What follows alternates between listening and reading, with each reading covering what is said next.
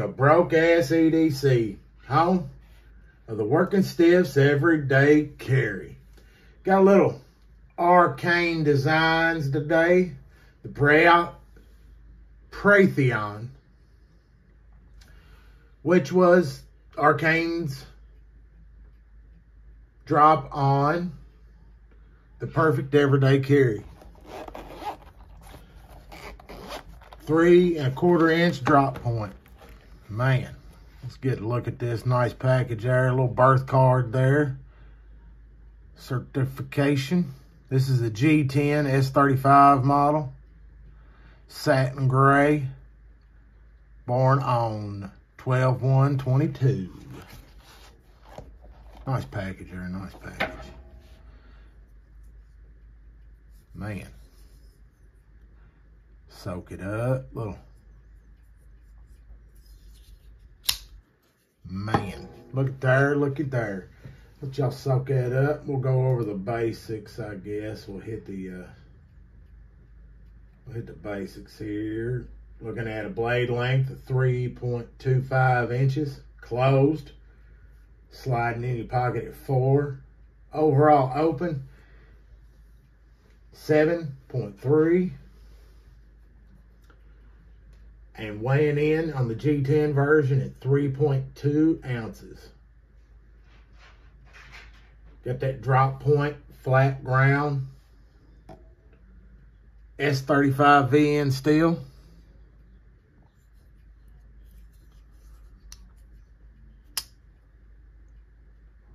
Soup to nuts, dead center there.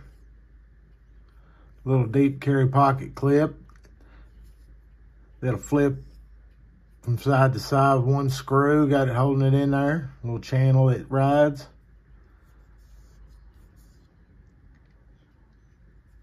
Man, that's a good carry. It's actually in and out of the pocket pretty smooth. Little natural G10 there. Screaming to be uh, color changed to whatever floats your boat. Solid thumb stud action there. Let's see. Get the, uh, on the handle grip. You can get all four fingers just on it with that jimping to rest. And then you've got a little little bit of a finger choil there that you can choke up on and get, get into the precision mode. It looks it, but it don't feel, you can feel it a little bit that that you're going to be right there on that edge, but that's my big meathead finger. If you ain't, if you've got a little bit skinnier finger, it'd probably be dead on and probably feel a little bit safer. But if I was going to do anything serious, I'd probably come back here. Because if I can feel a little bit of that edge, no, because I, sure enough, you'll dig in that damn corner of your finger there. Good solid drop, little action on it. I mean, it's uh coming in at 200 bucks for the G10 version. It's definitely on the higher end, but you know, you you are looking at an Arcane Designs. This is a, a more premium uh, shop to begin with, and they're a little bit science fiction inspired, bam, on their designs.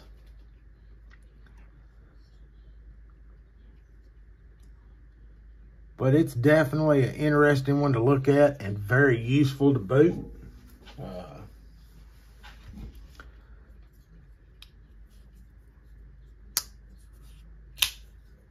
the front flipper kind of rolls out for me. I'm not the uh, the best Probably have to throw a little wrist in it. And for some reason, I'm all, my fingers are getting getting in the way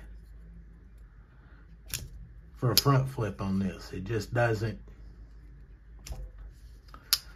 doesn't do well for me, but man, that thumb stud slings it out there. Probably a little more practice, a little fidget, but uh, when I have carried it, it's straight to the uh, to the thumb stud. That's probably my my preferred method on this one. I mean, this thing is light. And, uh,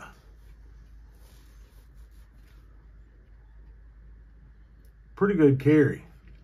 Don't know if I would swing the 200 for it. I got this on, on some trading. And, uh,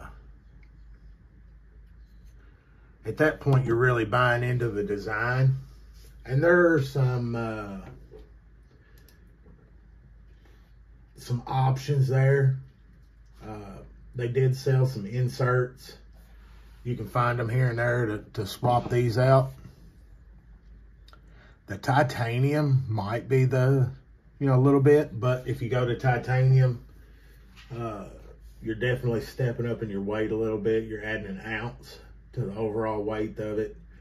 And I think the uh, titanium come in either the uh, 20 CV, so then you're stepping up into some serious steel, or that Damasteel. And, uh, well, I haven't even I ain't even put no hands on no Damasteel, so. Uh, you got milled steel liners. They're really cutting down on that weight. You can see down in there, that's some great. And then, I don't know if I can capture it. You got that arcane billboarding in the back of the back spacer, which is nice. You got the small logo on the blade designer mark. I mean, it's uh, it's got that futuristic and classiness to it. I mean, it ain't over the top with no crazy billboarding. Deep carry pocket clip, ambidextrous back and forth without leaving a mess on either side for it. A lot of thoughtful design cues in there that, that keep it clean and keep it this look, either going left or right. Great little knife right out the gate. Uh, pretty tickled with it. But I mean, you know, getting into these knives, you're you're looking at a an investment. But uh, it's sturdy. Don't think you're really gonna have any issues with it in the long term. And it, it could do some serious work if you want to get it out and, and put it to work like that. I wouldn't feel, I wouldn't be worried about it if I was going to really work it and put it through its tests. But this one probably will slide on into somebody else's pocket. You know, I really like it, but I not, you know, there might be something come along in a trade. You know, you know how it goes in the in the old Facebook marketplace. See something you like, and you'll end up offering it up. Y'all, if you get a chance, check it out. I'll probably uh, try to check out a couple more of these arcane designs. They're uh, they're pretty interesting. I'll drop a link down in the uh, the old description for it. But this is probably their entry level. Uh, some of their other designs are uh, like the creature and, and some of these uh, the plexus or the cry. I mean, there uh, there's some crazy cool looking knives to be honest and probably gonna try to get my uh, my hands on them at one time or another but uh definitely an interesting brand uh from Israel. And uh that's the founder of Arcane and their and their their design work. And I think his biggest thing is he's got a love for the sci-fi and the classic horror, and it comes out in these designs. So, yeah, don't forget to like and subscribe. Drop a comment. What do you think of the Arcane designs? I tell you, it's definitely a classy package. You're not getting a, uh, it's definitely not a $50 special. Y'all, stay sharp, stay safe.